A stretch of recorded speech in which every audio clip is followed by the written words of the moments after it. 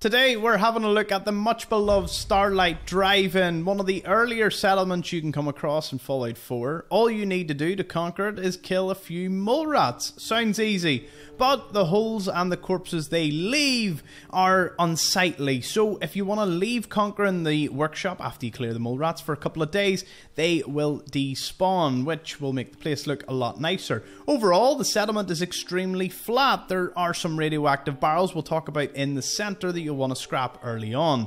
When you enter the diner, however, there is a booby trap over here, and if you're quick, enough, you can maybe disarm it. I was not there.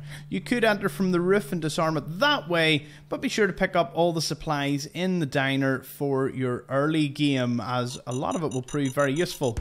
Again, another thing, you're going to want to try and disarm a little faster than me. The previous resident is actually found on the top floor here. Not alive, but you can take their weapon, as well as any supplies they may have had lying around. Be sure to take the bobby pin, as you will need some to get into both the workshop and the rear projector room, where you can get a fusion core and a really neat comic book. As for this door here, you can unlock it with a key found on top of the screen projector. So if that's an option you want to go for, then feel free. We're going to have a wee look through here, but I do want to give a word of caution to these radioactive barrels. Not only are they much higher than usual, you will want to scrap them sooner rather than later. Settlers nearby will get downed and that'll cut into productivity.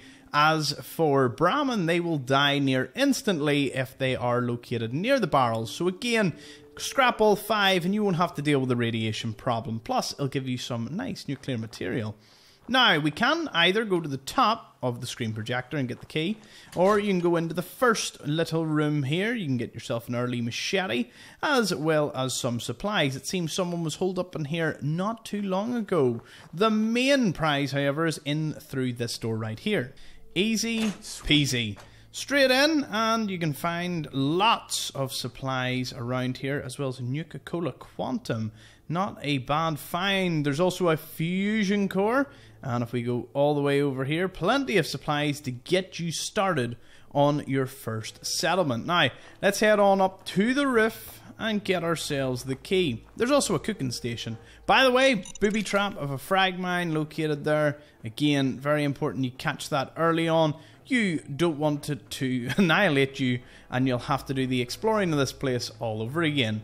In the footlocker is the workshop shed key, which again, if you don't want the XP and the hassle of unlocking the workshop, it means that you can conquer it straight away.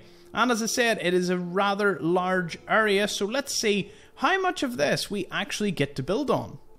And as you can see, it is an extremely modest size.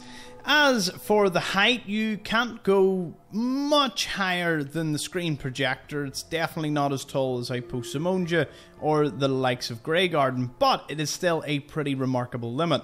But what it lacks in height, of course, it makes up for in girth. It is a massive settlement and very flat, so you can get a lot of work done. Scrap all the cars, place some foundations near the radioactive barrels, make sure to scrap them, of course, and boom, you've got yourself a pretty decent area that you can wall off and defend. As for random encounters, there are some uh, near that bridge over there that can be little vicious. Super mutants and deathclaws often spawn there, so do add a few more defenses in that line of sight uh, before you continue. As for the rear, you can see it continues around the back of the screen projector and a little ways out, so you can get a pretty nice wall going on here.